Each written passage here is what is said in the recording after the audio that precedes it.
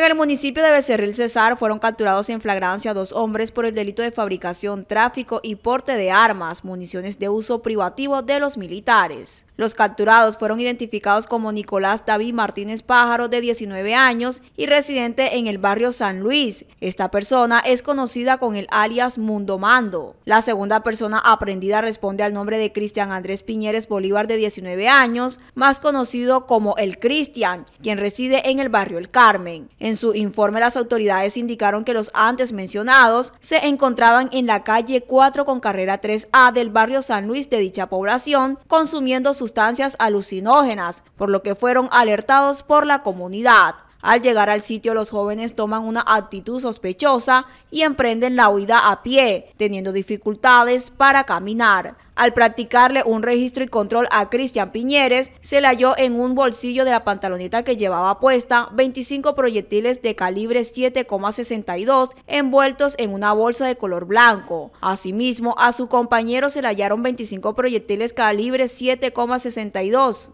Las personas capturadas por la posible conducta punible del delito de fabricación, tráfico, porte o tenencias de arma de fuego, accesorios, partes o municiones fueron trasladados hasta las instalaciones policiales para su proceso de judicialización. Se conoció que con este reciente hecho ya son tres las personas capturadas portando este tipo de municiones en Becerril. Dale gusto a tu paladar, saboreando los más deliciosos postres y ponqué que te ofrece Tortas Negle. Elaboramos todo tipo de tortas, cupcakes, flan, bizcochos y todo lo que necesitas para tus eventos especiales.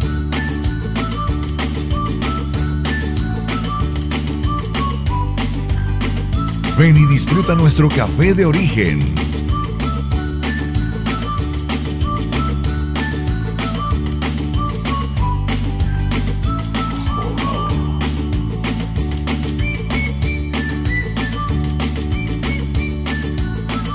Visítanos en la carrera 10, número 1318, Barrio El Obrero.